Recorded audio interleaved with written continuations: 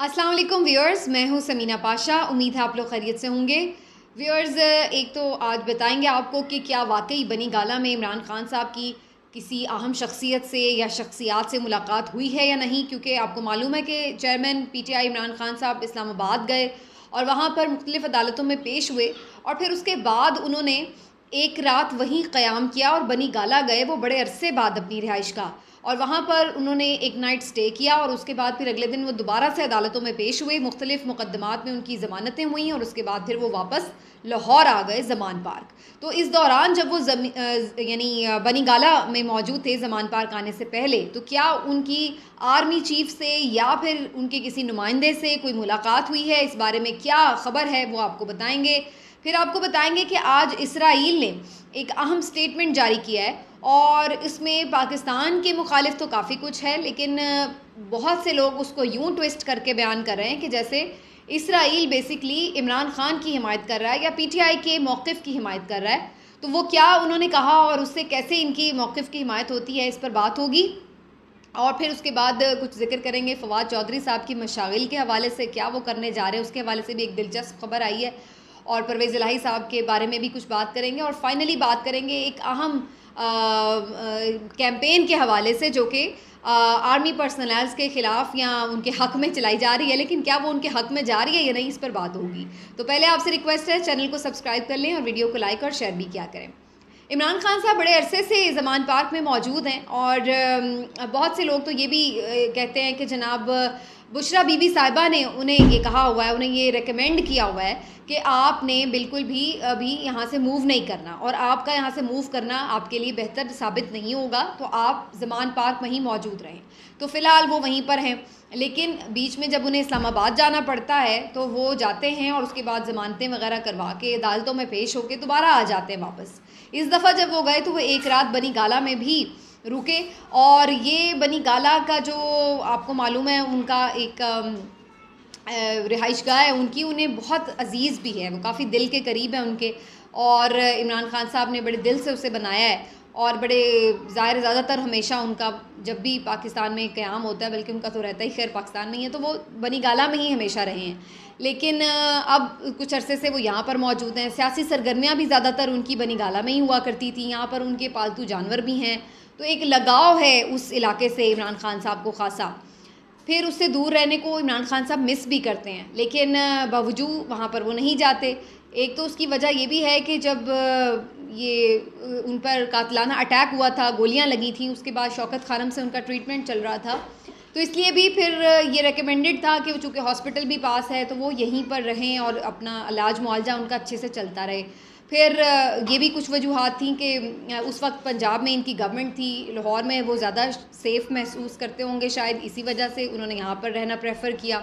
और शायद कहीं ना कहीं ये रीज़न भी हो कि उन्हें ये बताया गया हो कि उनका ज़्यादा बेहतर है यहाँ पर रहना और कोई रूहानी वजह भी हो इसकी। लेकिन बहरहाल, ये मुख्तलिफ़ वजूहत हैं जिसकी बिना पर इमरान खान साहब जमान पार्क में ही अपना डेरा जमाए रहे। अब जब वो गए हैं, एक रात के लिए वहाँ रुके हैं तो ये काफ़ी ज़्यादा मीडिया में ख़बरें आ रही थी कि उनकी या तो आर्मी चीफ या किसी अहम नुमाइंदे से मुलाकात हुई है और इस दौरान कुछ मामला तय भी पा गए हैं तो इस किस्म की गुफ्तु जो है वो मंजर आम पर आ गई थी। तो इमरान खान साहब आज जब दोबारा लाहौर हाई कोर्ट में पेश हुए तो वहाँ अदालत में उन्होंने सहाफ़ियों से बात करते हुए इस बात को क्लैरिफाई भी किया। जब उनसे ये सवाल किया गया तो उन्होंने बताया कि उनकी किसी से कोई ऐसी ख़ास मुलाकात नहीं हुई और आर्मी चीफ से तो खैर बिल्कुल भी नहीं हुई। और वो वहाँ पर सिर्फ़ इसीलिए रुके थे क्योंकि अगले दिन फिर मुकदमात थे और पेशियों पर जाना था। तो फिर ज़ाहिर है रोज़ इतना ट्रैवल करना कुछ या तो कुछ दिन का गैप हो तो चलें, वो आ जाते हैं। लेकिन अगर अगले ही दिन ट्रैवल करना है तो उससे बेहतर है कि वो अपने घर पे रुक जाएँ और कहीं स्टे करने की बजाय। और आपको याद होगा कि जब सुप्रीम कोर्ट में भी इमरान खान साहब अपनी गिरफ्तारी के बाद पेश हुए थे तो उससे अगले दिन उन्हें इस्लामाबाद हाई कोर्ट में पेश होने के लिए सुप्रीम कोर्ट ने हिदायत की थी। लेकिन उस वक्त भी इमरान खान साहब ने ये रिक्वेस्ट की थी कि उन्हें बनी गाला जाने दिया जाए, जबकि सुप्रीम कोर्ट ने कहा कि आप पुलिस लाइंस में एज ए स्टेट गेस्ट रहें, कोई मसला नहीं है, आप वहाँ पर मौजूद रहें, लेकिन आप यह है कि वहाँ पर सेफ़ रहेंगे और उसके बाद फिर आप इस्लामाबाद हाई कोर्ट भले जाना चाहें तो जा सकते हैं। तो उस वक्त भी वरना उनकी प्रेफरेंस यही थी कि वो अपने घर में क़्याम करें।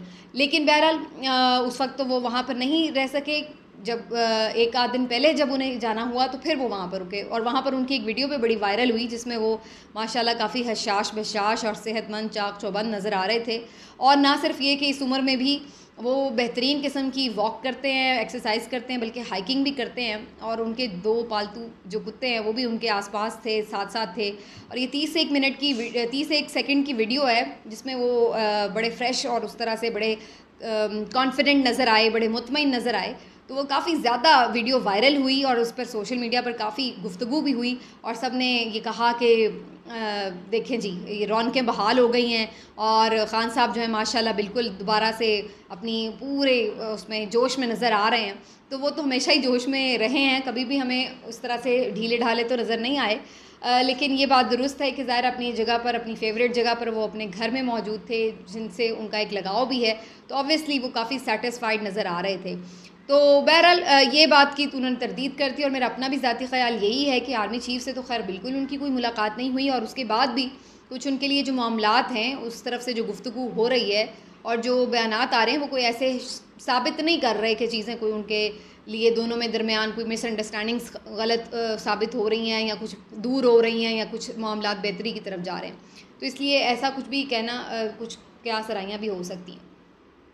अलबत् ये भी कुछ मामला हैं कि जी परवेज़ लाई साहब से, चौधरी शुजात हुसैन साहब की फिर से मुलाकात हुई, फिर से उनकी पूरी कोशिश है कि उन्हें ज़मानत मिल जाए, लेकिन अभी तक वो चक्कर उनके लग रहे हैं, लेकिन फ़िलहाल उन्हें रिलीफ नहीं मिल रहा। और अब इसके ऊपर भी मीडिया में यही चमगोइयाँ चल रही हैं कि जी परवेज़ लाई साहब तो राज़ी हैं, लेकिन मुनस लाई साहब उन्हें रजामंद करने में अभी तक नाकाम नज़र आ रहे हैं कि वो वहाँ पर काफिल में दोबारा शामिल हो जाएँ। अब इसके हवाले से यही खबरें चलती रहेंगी जब तक कि परवेज़ इलाही साहब खुद अपने मुँह से ना कहते हैं लेकिन बहरहाल अभी तक तो उन्होंने यही कहा है कि वो पीटीआई के साथ ही खड़े हैं। फवाद चौधरी साहब के हवाले से मैं आपको एक इंटरेस्टिंग खबर दे दूँ इस मौके पर कि फवाद चौधरी साहब जो कि इस्तेकाम पाकिस्तान पार्टी को पता नहीं उन्होंने ज्वाइन किया है कि नहीं किया, क्योंकि उसकी लॉन्चिंग तकरीब में वो बैठे ज़रूर थे, लेकिन उनकी तरफ़ से कोई ऑफिशियल अनाउंसमेंट अभी तक ऐसा जारी नहीं हुआ। कि उन्होंने इस्तेकाम पाकिस्तान पार्टी ज्वाइन कर ली है। तो जब तक वो अपने तौर पर कोई प्रेस कॉन्फ्रेंस में, किसी ट्वीट में, किसी जगह पर इस बात का बाकायदा ऐलान नहीं कर देते तो मैं ये नहीं कहूँगी कि वो उस पार्टी के मेंबर हैं। लेकिन बहरहाल ये अलग बात है कि जहांगीर खान तरीन साहब के साथ इस फैमिली के ओवरऑल काफ़ी करीबी ताल्लुक हैं और बड़ी रिस्पेक्ट भी करते हैं और सियासत के अलावा भी उनकी बहुत ज़्यादा आपस में गहरे रवाबित हैं। तो इसलिए वो उनसे मिलते जुलते शायद आपको नज़र आते रहे, लेकिन दैट डज़ नॉट मीन कि वो इस्ताकाम पाकिस्तान पार्टी का हिस्सा ही बन गए हैं। लेकिन उनके बारे में ये इंटरेस्टिंग खबर एक सोशल मीडिया पर ज़रूर शेयर हुई है कि वो अब शायद किसी भी पार्टी का हिस्सा बनने के बजाय या सियासत में कुछ एक्टिव होने के बजाय, वो कुछ शायद सोशल मीडिया पर एक्टिव होने जा रहे हैं और अब वो किसी यूट्यूब चैनल में अपना एक शो होस्ट करेंगे। और इसके साथ साथ ये भी मज़ेदार खबर आ रही है कि इमरान इस्माइल साहब के हवाले से भी कि वो भी उन्हें ज्वाइन कर लेंगे और मुस्तफ़ा नवाज़ खोकर भी शायद इसी यूट्यूब चैनल पर आपको एक प्रोग्राम करते हुए नज़र आएँगे। तो फवाद चौधरी साहब, इमरान इस्माइल साहब हों मुस्तफ़ा नवाज़ खोकर साहब हों, मिफ्ता इस्माइल का भी सुन रहे हैं कि वो भी उनको ज्वाइन करने जा रहे हैं। तो ये लोग मिलकर कुछ सियासी और कुछ गैर सियासी किस्म का शो करने जा रहे हैं और इसमें ज़ाहिर है कि एक जो वो नया कॉन्सेप्ट आ रहा है आजकल री इमर्जिंग पाकिस्तान वाला तो शायद उसी को थोड़ा सा आगे बढ़ाया जाएगा। लेकिन देखते हैं जी सियासतदान चाहे कुछ भी और कर रहा हो, मेरे ख्याल है वो सियासत से कभी बाज नहीं आ सकता। एक तरह से ना सही, वो किसी दूसरी तरह से सही, लेकिन कहीं ना कहीं वो सियासत से इंगेज ज़रूर रहता है। बहरहाल जी, फवाद चौधरी साहब के लिए हम कहेंगे बेस्ट ऑफ़ लक वो जो भी कर रहे हैं। और अब मैं बात करूँगी इसराइल के हवाले से। इसराइल ने एक स्टेटमेंट जारी किया अकवा मुतहदा में, और इसमें उन्होंने जो पाकिस्तान में इंसानी हकूक़ की खिलाफ वर्जी हैं, उसके हवाले से तशवीश का इजहार किया है। मिलिट्री कोर्ट्स के ऊपर भी उन्होंने क्वेश्चन उठाए हैं, और उन्होंने जो ओवरऑल पाकिस्तान में इंसानी हकूक़ की खिलाफ वर्जियाँ हैं, आज़ादी इजहार राय के ऊपर पाबंदी के मामला हैं, या फिर अकलीतों के साथ कुछ वाक़ जो पेश आए पिछले दिनों में, उसके हवाले से तो ओवरऑल उन्होंने तमाम तर चीज़ों के ऊपर जो है वो काफ़ी कंसर्नस शो किए हैं, और उन्होंने कहा है कि पाकिस्तान के मामला में किसी भी तरह के आगे बढ़ते हुए, इनके साथ कोई भी माहदे करते हुए, कोई भी इनको फैसिलिटेशन देते हुए, ये तमाम चीज़ों को मद्देनज़र रखा जाए, इसराइल ने अपनी रिकमेंडेशन में ही कहा है। तो इसके ऊपर दो तरह की चीज़ें सामने आ रही हैं। एक तो हुकूमत पाकिस्तान का मौक़ है और मैं उसको काफ़ी मतलब उससे बिल्कुल तौर पर मैं इख्तलाफ नहीं कर सकती, वो उसमें काफ़ी हद तक सच्चाई भी है कि भाई, पहली बात तो ये कि इसराइल, पाकिस्तान जो है वो इसराइल की एक मुल्क की तरह आज़ाद हैसियत को तस्लीम ही नहीं करता, वो तो ख़ुद समझता है कि इसराइल तो एक खुद काबिज़ किस्म का आ, मुल्क है और जिसने फ़लस्तीन का जो हकूक़ है उसको गसब किया हुआ है। फ़लस्तियों के ऊपर जो जुल्म सितम उन्होंने किया हुआ है वो भूल गए हैं वो। जो वहाँ पर वो बरबरीत करते हैं, उनके साथ निहत्ते फ़लस्तीनियों के साथ, उसका हिसाब कौन देगा? यानी आपको यहाँ पर इंसानी हकूक़ की खिलाफ वर्जियों के ऊपर बड़ी तकलीफ़ हो रही है, बड़ा आप आवाज़ उठा रहे हैं, लेकिन जो खुद आप वहाँ पर कर रहे हैं, उसके बारे में आपका क्या ख्याल है? तो ये तो वही बात हो गई कि औरों को नसीहत और ख़ुद मियाँ फसीहत यानी आप अपने तौर पर जो आपने बाज़ार गर्म किया हुआ है और साल साल से गर्म किया हुआ है, जुल्म सितम का बाज़ार उसके ऊपर आपको कोई ना पकड़े, कोई ना पूछे, वो आप अपना हक समझते हैं। लेकिन पाकिस्तान के अंदर अगर कोई ऊंच नीच हो रही है तो उसके ऊपर फ़ौर आप ज़बान चलाने के लिए आ गए हैं। तो ये एक, दो डबल स्टैंडर्ड आप कह लें, और वर्ल्ड का भी ये डबल स्टैंडर्ड है कि बहुत सारी जगहों पर हम देखते हैं कि एक मुजरिमाना खामोशी नज़र आती है, चाहे वो कश्मीर के मामले में हो, फ़लस्तीन के मामले में हो, और मुख्तलिफ़ जगहों के ऊपर। तो ये बड़ा एक अफसोसनाक पहलू है। लेकिन पाकिस्तान में कोई अगर वाक़ात होते हैं तो उनको काफ़ी ज़्यादा हवा दी जाती है, और ख़ास तौर पर इसमें जो पाकिस्तान के दुश्मन मुल्क हैं, वो पेश पेश नज़र आते हैं हमें। अब ये बात हैविंग सेड दिस ये तो अपनी जगह एक बात दुरुस्त है कि हम इसराइल के किरदार के ऊपर भी सवाल कर सकते हैं, उठा सकते हैं, बिल्कुल। लेकिन इसका एक दूसरा पहलू ये भी है कि ये चीज़ें बहरहाल इस वक्त पाकिस्तान में हो तो रही हैं। ऐसा तो नहीं है कि इसराइल ने कोई झूठ बोला है और पाकिस्तान में कोई इंसानी हकूक़ की खिलाफ वर्जी नहीं हो रही। ये तो एक अब ओपन एंड शट मामला है जो पूरी दुनिया देख रही है और सिर्फ़ एक इसराइल ने इसके ऊपर सवाल नहीं उठाया है। इसके ऊपर पूरे के पूरे आप देख सकते हैं कि यूरोपीय यूनियन का जो मामला है उन्होंने क्या कहा है फिर आप देख लें कि जो मुख्तलिफ़ ममालिक हैं, उनकी तरफ़ से क्या रिएक्शंस आ रहे हैं। तो मुख्तलिफ़ जो फोरम्स हैं, वो बेसिकली इस तरफ़ अपनी कंसर्नस को शो कर रहे हैं। अकवा मुतहदा में भी इस पर बात उठाई गई है। फिर जो आपकी ये जो ह्यूमन राइट्स कमीशन है, वो भी इस पर बात कर रहे हैं। मुख्तलिफ़ जो आपकी इंटरनेशनल फोरम्स हैं और एन जी ओज़ हैं, वो इसके ऊपर कंसर्न शो कर रहे हैं। मुख्तलिफ़ पार्लियामेंट्स में आवाज़ें आ रही हैं, चाहे वो कैनेडा की पार्लियामेंट हो, चाहे वो आप बरतानिया की पार्लियामेंट देख लें अमेरिकन ने भी इवन इस पर बात की है। तो ऐसा तो नहीं है कि कोई इसराइल सिर्फ़ बुग्स में पाकिस्तान की ये बातें कर रहा है। हमें जनरली भी नज़र आया है कि जो कुछ आपने यहाँ पे गुल खिलाए हैं, वो अब दुनिया को नज़र आ रहे हैं। और यही वजह है कि अब पाकिस्तान अनफॉर्चुनेटली हमें अच्छा तो नहीं लगता, लेकिन पाकिस्तान का ये एक बुरा इमेज है, जो इस हुकूमत ने, इसके हैंडलर्स ने दुनिया को दिखाया है। और इन्होंने ये करके दिखाया कि देखिए, हम अपने मुल्क में जमहूरीत का गला ऐसे घोंट सकते हैं। देखिए, हम अपने लोगों के साथ ऐसे जुल्म सितम कर सकते हैं। देखिए, हम आइन और कानून की इस तरह से धजियाँ उड़ा सकते हैं। देखिए, हमारे लिए कोई चीज़, कोई हैसियत नहीं रखती। बस जब हम अपनी ज़िद पर आ जाते हैं तो फिर हम हर चीज़ को बालाए ताक रख देते हैं। और ये आपने साबित किया है। अब दुश्मन हो या दोस्त हो, हर कोई अपने अंदाज से बात कर रहा है। लेकिन बात करने का मौका तो आपने ही दिया है ना? तो फिर अब उसके ऊपर आप क्या किसी को दिखाएँगे आईना? पहले वो कहेंगे, आप हम पे बात बाद में कीजिएगा। पहले आप अपने अंदर गिरे बाँध के झांके। हम तो किसी दूसरे मुल्क के साथ कर रहे हैं, आप अपने मुल्क के अंदर, अपने लोगों के साथ क्या कर रहे हैं? तो ये वो चीज़ें हैं, शर्मनाक हकाइक हैं, जो अनफॉर्चुनेटली इस वक्त पाकिस्तान की पहचान बनते चले जा रहे हैं। और ये पहचान बनाने वालों को अब तक तो कोई एहसास नहीं हुआ कि हमने इस तरह पाकिस्तान की ये शनाख्त कायम की है। आगे चल के अल्लाह ताला कोई दिल में हदायत डाल दे तो अलग बात है, लेकिन फ़िलहाल तो इसके आसार नज़र नहीं आ रहे। तो बहरहाल बहुत सारे लोग इसके ऊपर ये भी प्रोपेगेंडा कर रहे हैं कि जी, ये बेसिकली इमरान खान का किया था अब हर चूँकि हर चीज़ का तो आपको पता ना, आजकल इल्ज़ाम सीधा सीधा इमरान खान पर लगाना होता है।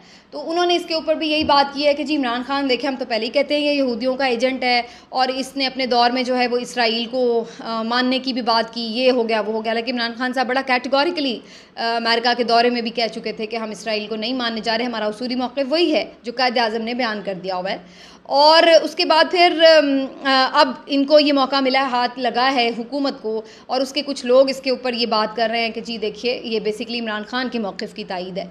तो बात इमरान खान के मौक़ की तायद की नहीं है। इमरान खान कहे या ना कहे, दुनिया को नज़र आ रहा है कि इस मुल्क में क्या हो रहा है। और ज़ाहिर है कि जो इमरान खान के बैरून मुल्क ओवरसीज़ पाकिस्तानी हैं, उन्होंने बहुत ज़्यादा हाईलाइट किए हैं ये मामला और उसका हमें अब एक असर जो है वो नज़र आ रहा है। तो ये अब सारी सिचुएशन है। असल में इसका मसला यही है कि हम जो मर्ज़ी करें, हमें कोई आईना भी ना दिखाए। ये इस जो हुकूमत है उसकी सूरत हाल है, क्योंकि आईना जब देखते हैं तो फिर इनको अपना बदनुमा चेहरा बद शक्ल चेहरा नज़र आता है तो वो फिर उन्हें अच्छा नहीं लगता। और ऐसा ही एक चेहरा, एक सहाफ़ी, आज़म चौधरी ने भी दिखाने की कोशिश की। आज़म चौधरी साहब कोई एक आम सहाफ़ी नहीं है, बल्कि पाकिस्तान के एक बड़े press club, Lahore press club के सदर भी हैं। और पीटीवी में वो नौकरी भी कर रहे हैं। और एक प्रेस कॉन्फ्रेंस में उन्होंने ये जसारत कर ली ज़िले इलाही, शहबाज शरीफ साहब से ये सवाल करने की कि पाकिस्तान में जो मीडिया की सूरत हाल है, जो सहाफ़त की सूरत हाल है, ये कब तक ऐसे रहेगी? पाबंदियाँ हैं, हम कुछ नाम नहीं चला सकते, तस्वीर नहीं चला सकते, ये कब तक की सूरत हाल यूँ चलेगी? बस यही उनका जुर्म ठहरा कि आज़ादी सहाफ़त पर सवाल क्यों किया? उन्होंने इसका ऐसा जवाब दिया कि मेरा ख्याल है आज़म चौधरी साहब को बिल्कुल अच्छे से समझ आ गई होगी कि इसका जवाब उन्हें मिल चुका है। वो ये हुआ कि ये सवाल करने की पादाश में उनका जो प्रोग्राम था, उससे उन्हें निकाल दिया गया। और उन्होंने फिर ये बाद में आके कंफर्म भी किया है कि जो वो प्रोग्राम बाखबर के नाम से किया करते थे पीटीवी में, उस शो के लिए फिर उन्हें दोबारा मदू नहीं किया गया। तो इस तरह से उन्हें फारिग कर दिया गया। तो ये सूरत हाल है हमारे यहाँ आज़ादी सहाफ़त की। साठ दिन हो गए हैं, इमरान रियाज लापता हैं, कहीं उनका सुराग नहीं है और उनको कहीं प्रोड्यूस नहीं किया जाता और कहीं उनकी बात नहीं की जाती। और ये दो महीने से साफ़ी जो लापता है और उसके ऊपर अगर आप, अब आप देखिए कि कैसी मुजरमाना खामोशी भी है इस हुकूमत की। और फिर हमें ये हमारे बड़े कहते हैं कि जनाब, मायूस ना हों आप, मायूसी की कोई बात नहीं है। मायूस तो आप लोगों ने हमें कर दिया है। अब हम और कितने अल्लाह से तो हमें उम्मीद है, वो तो इन हम नहीं ख़त्म कर सकते। लेकिन जो कहते ना, तोड़े वाली कोई हाल नहीं रहा, वो वाली कसर रह गई थी। बहरहाल लास्टली मैं ज़रा ये भी आपको बता दूँ कि मेरे, उसमें से क्लिप में एक सोशल मीडिया का देख रही थी, जिसमें आर्मी चीफ और D G I S D G I S I और फिर इसी तरह से brigadier Faisal major general Faisal Naseer sahab के हवाले से एक मैंने गाना देखा, तराना बनाया गया था, जिसमें उनकी कुछ कसीदे पढ़े जा रहे थे और बड़ी उनकी तारीफ़ें की जा रही थी और उसके बोल भी बड़े अजीब से थे, मारखोर वाले और सांपों को चीर देने वाले और आसिम मुनीर हाफिज़ और फिर इसी तरीके से पाकिस्तान पाक फ़ौज जिंदाबाद। तो ओवरऑल एक पाक फ़ौज जिंदाबाद के हवाले से बात हो रही हो तो वो तो एक नॉर्मल सी बात है। हम हमेशा ही पाकिस्तान फ़ौज के लिए तराने सुनते रहे हैं और बड़े दिल से पढ़ते भी रहे हैं, देखते रहे हैं, बड़ा जोश गरमाने वाले तराने होते हैं। लेकिन एक ख़ास किसी शख्सियत को नाम लेकर के उसमें कभी पहले इस तरह से नहीं देखा जाता था कि उसको इस तरह से नुमाया किया जाता हो। तो इस दौर में हम ये देख रहे हैं कि शख्सियात को इस तरीके से नुमाया किया जा रहा हो, उनका नाम ले लेके, उनके कसीदे पढ़े जा रहे हों। तो वैसे तो ये जिसने भी किया है, ज़ाहिर है उसने पता नहीं मोहब्बत में किया होगा कि इससे कोई बेहतर इमेज होगा और कुछ चीज़ें बड़ी कोई मोहब्बत का इजहार होगा। लेकिन ऑनेस्टली वो बड़ा अजीब सा लग रहा था और मेरा ख्याल है ये कोई अच्छा मशवरा नहीं था किसी की तरफ़ से भी है। मोहब्बत जो भी है, जैसे भी है इमेज बिल्डिंग जो भी आप कह लें उसको, वो जब आपके काम ऐसे होते हैं, वो ऑटोमेटिकली होती है। उसके लिए हमें कोई एफ़र्ट करने की ज़रूरत नहीं होती। तो पाकिस्तान फ़ौज से तो वैसे ही अवाम मोहब्बत करते हैं तो फिर ये शख्सियात का नाम ले लेके गाने बना के अजीब से, और वो गाने भी बड़े अजीब से हैं, वरना तो पाकिस्तान की फ़ौज के लिए जो तराने बनते हैं, वो इतने ज़बरदस्त क्वालिटी सॉन्ग होते हैं। आज भी आप उन्हें सुने तो आपके रोंगटे खड़े हो जाते हैं। तो अब ये अजीब किस्म की प्रोडक्शन भी हो रही है तो प्रोडक्शन का लेवल भी बड़ा लो लगा, और आइडिया भी बड़ा अजीब सा ही लगा। लेकिन बहरहाल कुछ लोग होते हैं जो कि वैसे तो आपका भलाई कर रहे होते हैं, लेकिन कहीं ना कहीं वो आपके लिए बाज़ का सुबकी का भी बायस बन जाते हैं। तो मेरा ख्याल देखना चाहिए इन मामला को कि क्या इस तरह से करने की ज़रूरत है भी या नहीं। मिलते हैं अगले वीलॉग में, अपना ख्याल रखिए। अल्लाह हाफ़